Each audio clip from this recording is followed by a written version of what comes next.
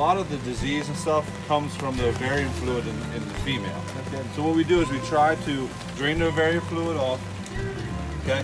And they have, the eggs have a thing called a micropyle in it. So as soon as the water touches them, it opens up. You'll never see it.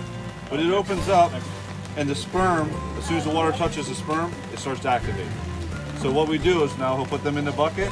We have the sperm right here. And we'll put it all together. We'll put water to both of them at the same time.